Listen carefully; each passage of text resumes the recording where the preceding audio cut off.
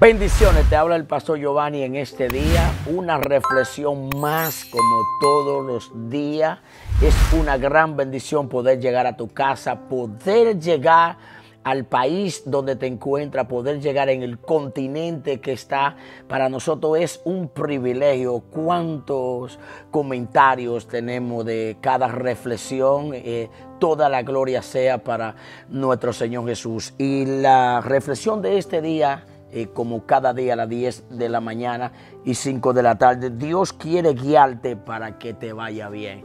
Ese es eh, el tema de este día. Dios quiere guiarte para que te vaya bien. Nunca nuestro Padre va a querer que nos vaya mal. Él siempre va a querer que nos vaya bien. Y quiero eh, que vayamos a la escritura en el libro de Mateo, capítulo 2 verso 1 y 2.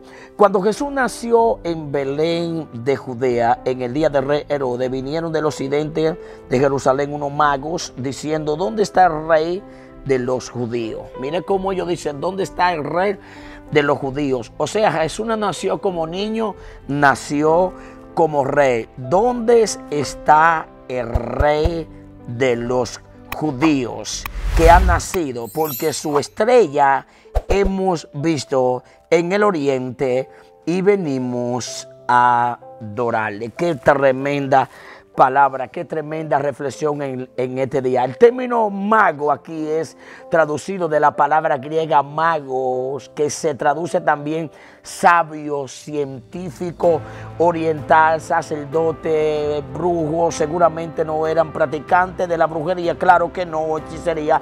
Pues el ocultismo no reconoce ni adora a Jesús. Ellos no eran brujos, no eran hechiceros, ¿por qué? Porque ellos fueron a adorarle a Jesús.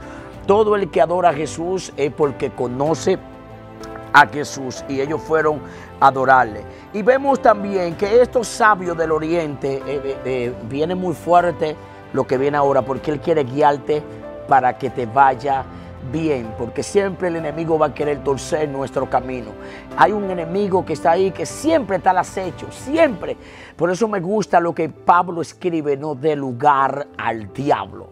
A Satanás no se le da lugar. Por eso que la escritura dice que es el camino, la verdad y la vida. Nuestro Padre es el camino, la verdad y la vida. Y estos sabios del oriente siguieron la dirección que Dios le estaba dando. ¿Quién le estaba dando la dirección?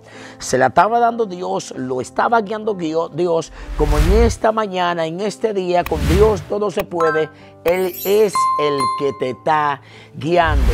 Me gusta la vida del cristianismo. ¿Por qué? Porque nosotros lo que nos dejamos guiar por Él no va a ir bien. Lo que pasa es que hay gente que cambian de nombre, como yo digo, pero su naturaleza siguió la misma. Dice, yo soy cristiano, yo nací de nuevo, pero su naturaleza es la misma. Los que son nacidos del Espíritu son guiados por el Espíritu. Es decir, no fueron sabios en su propia opinión, ellos se dejaron guiar por Dios. La estrella ellos la siguieron y allá vieron el rey que había nacido. Pero hay algo impactante que yo voy a enseñar en la reflexión de este día. No importa cuánto sepamos, el consejo de Dios es más sabio que nuestro. La mayoría de creyentes tienen problemas cuando vienen a Jesús. Ellos quieren hacer el negocio con su propia idea. Ellos quieren casarse con su propia idea. Quieren comprar la casa con su propia sabiduría. Quieren emprender el negocio, la empresa con su propia sabiduría. Por eso es que Pablo escribe que esto no esto no es con sabiduría humana, esto es con sabiduría divina.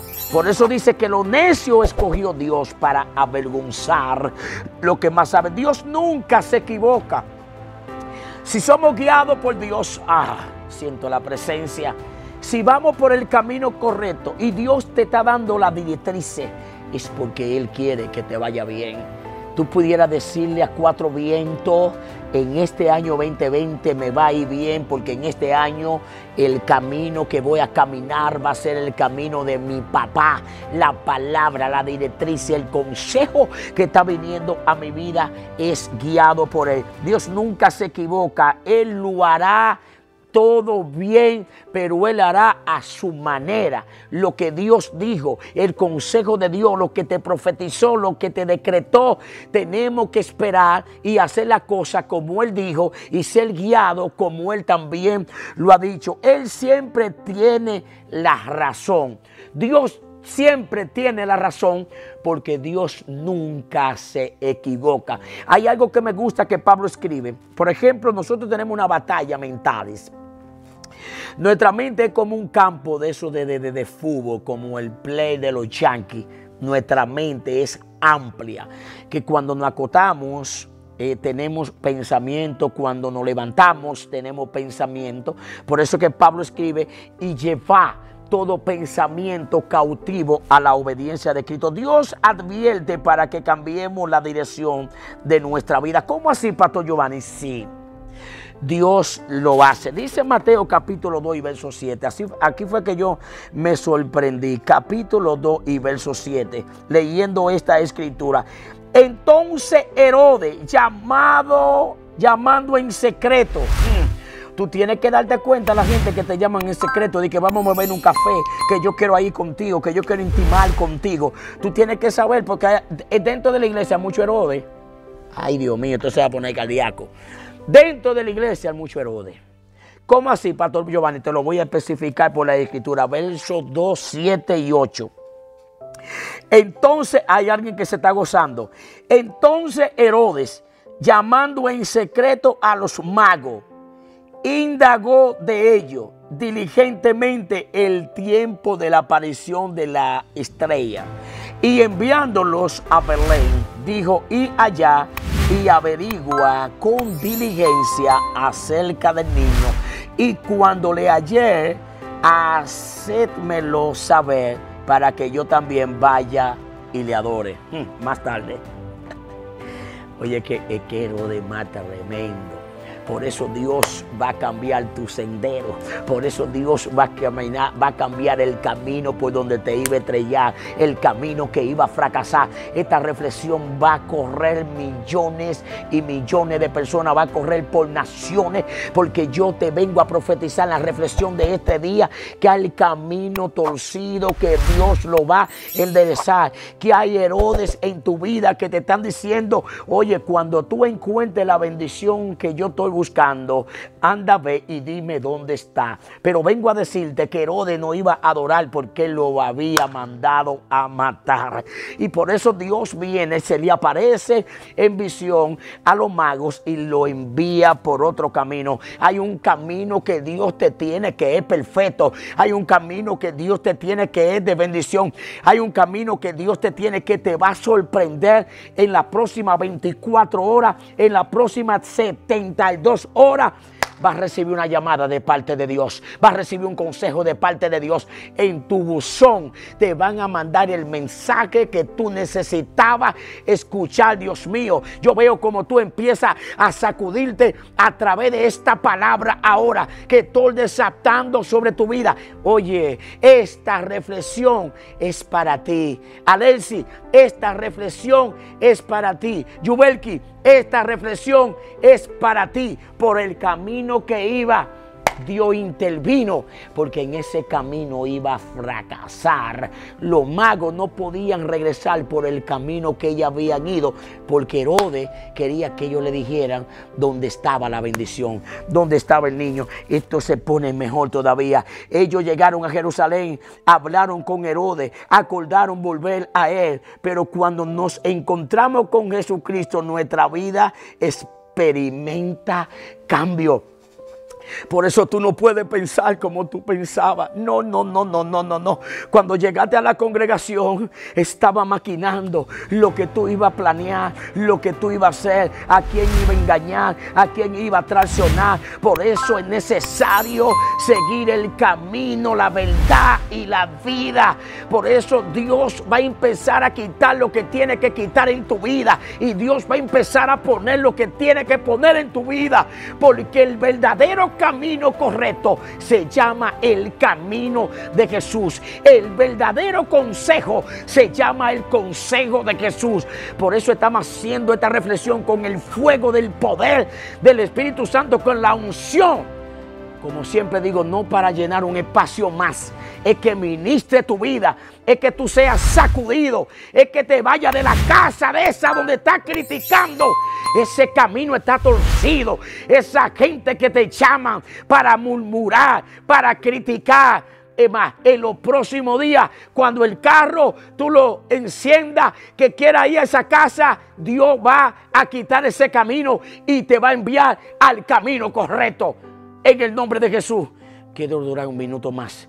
Hay una unción que me ha caído ahora. Esa misma unción, Padre, en el nombre de Jesús. Ahora toca Francisco, ahora en el nombre de Jesús. Ahora, ahora, ahora. Despiértalo. Quite esa venda sobre Marisa. Ahora, ahora, ahora. Recibe, quite esa venda ahora, ahora de esa mujer, de ese hombre. Ese camino, Dios te dice, no camine por ahí no regrese donde Herodes. Herodes es un mentiroso, Herodes es una zorra, Herodes es un malvado, Herodes representa a Satanás. Esto nos recuerda que hay camino del pasado por donde no debemos volver a caminar. Hay gente que fueron amigos tuyos en el pasado, pero tú te convertiste a Cristo. Tú estás en lo nuevo de Dios. No vuelva a pasar por ese camino del pasado. No, no, no, no, no. Esa gente del pasado que te dañaron, que te contaminaron, que se burlaron de ti, que te hirieron, que te marcaron no regrese por ese camino. Hay un verdadero camino que Dios tiene diseñado para ti en el nombre poderoso de Jesús. Alessandra, despierta que Dios te levanta. Siento la unción del Espíritu Santo. No puedo parar. Herodes, figura de aquel que no quiere que Cristo reine. Es aquel que no quiere ceder su trono al Señor. No quiere ser quitado porque él sabía que había nacido un rey. Y con esto termino. Herodes quiere seguir gobernando su vida como quiere. No quiere otro Señor en su corazón. Herodes significa hijo de un, de un héroe. Era un hombre soberbio. Era un hombre malvado, brenao, lleno de orgullo por los logros de su padre y de sí mismo representa la cabeza que nunca se inclina ante de Dios.